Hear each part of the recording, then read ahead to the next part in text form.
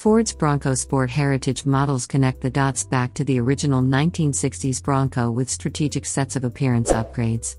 And underneath the special skin of the 2023 Heritage Limited is the very capable Badlands variant of the subcompact SUV, which we've lauded as quick on the road, competent beyond the pavement, and comfortable wherever it goes.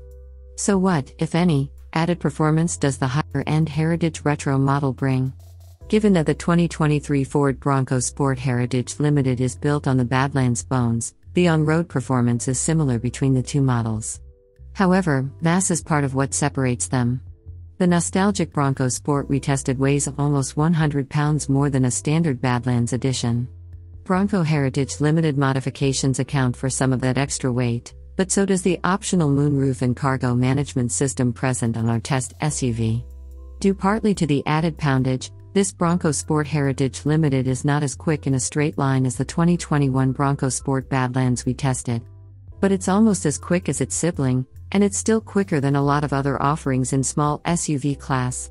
Compared to the 2021 non heritage model we tested with the same 2.0 liter turbo 4 engine and 8 speed automatic transmission, the Sport Heritage Limited needed another 0.8 seconds to reach 60 miles per hour from a standstill. In the quarter mile, the Badlands model crosses the finish line a half second sooner while traveling 1.3 miles per hour faster.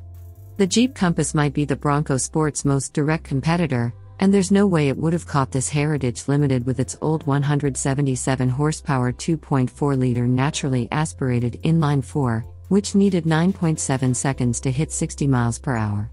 The 2023 Compass gets a new 200 horsepower 2.0 liter turbo 4, which should improve its quickness, We'll know when we test it, but it doesn't seem likely the Jeep could knock almost 2.5 seconds from its 0 to 60 mile per hour time, even with its newfound power and 150 pound weight advantage.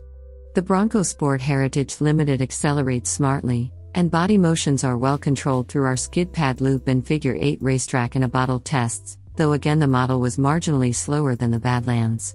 Some transmission finickiness reared its head, specifically in manual mode during our testing, but the SUV's power delivery was otherwise smooth. The suspension transmits a stiff on road feel, but it wasn't especially noticeable. The Bronco Sport Heritage Limited steering is accurate, but the wheel itself isn't very communicative. The brake pedal is firm and easy to modulate, and it provides a decent initial bite.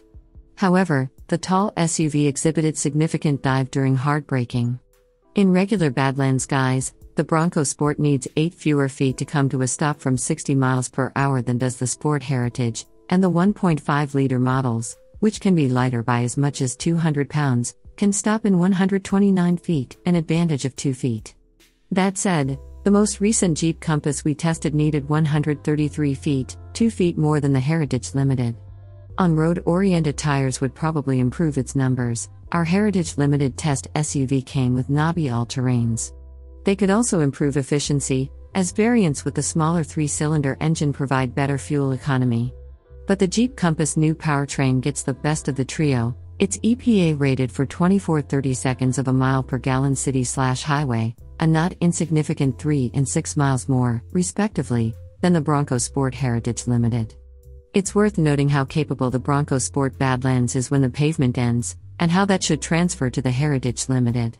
The throwback model receives all of the Badlands goodies an upgraded rear axle and torque vectoring, an upgraded suspension with increased ground clearance, skid plates, model specific bodywork, 29 inch all terrain tires, a nose camera, and additional off road modes. Meanwhile, the Bronco Sport Badlands excelled on the trails against the Compass Trailhawk with the previous powertrain, and we have no reason to believe it won't continue to do so as a heritage model. Ford wants to take us back to the Broncos' origins with this appearance trim, and it sort of succeeds. On the outside, classic Robin's Egg Blue is one of three colors the Limited offers, the others are Yellowstone Metallic and Peak Blue, and it meshes well with contrasting Oxford white bits like the roof and wheels. Splashes of red from the 1960s era badging offer a pop of color, but we're more struck by the Bronco Sport's exterior dimensions in general. With the exterior motif, We'd swear it looked right out of 1966.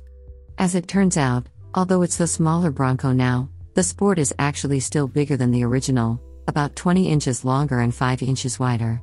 For what it's worth, the Hyundai Kona, Kia Soul, and Jeep Renegade are all bigger than the original Bronco, too. Interior space is still ample, which means there's more headroom, thanks to a tall roof, legroom, and cubic feet of cargo space than found in the 2023 Compass.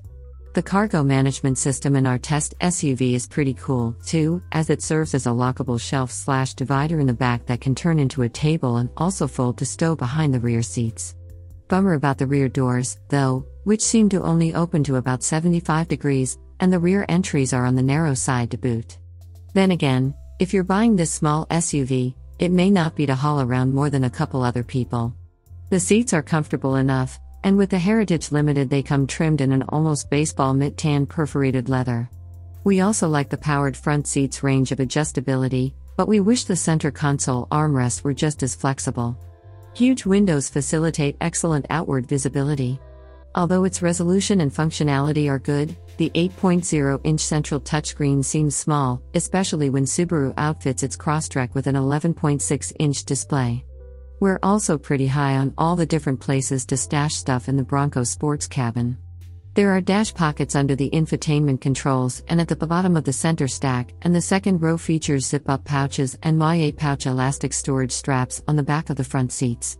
Hardcore fans should dig the 2023 Ford Bronco Sport Heritage Limited most of all, but it's moot now, as the 2023 allotment of 1,966 units, commemorating the original's first year, is spoken for.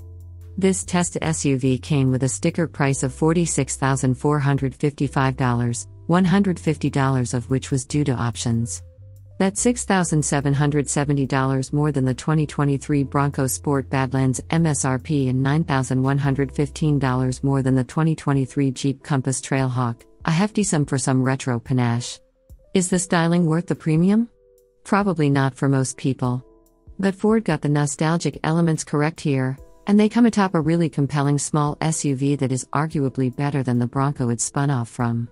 With the 2.0 liter engine, the Bronco Sport has plenty of power. What's more, all variants handle nicely and offer a comfortable ride, and the model's off road capability is no joke. Although fuel economy could be better and the central screen could be bigger, this is a notably practical vehicle. Heritage model or not, there's lots of style, too. Ultimately, we say get the Heritage Limited if you so desire, but the value proposition is better with standard Bronco Sport models.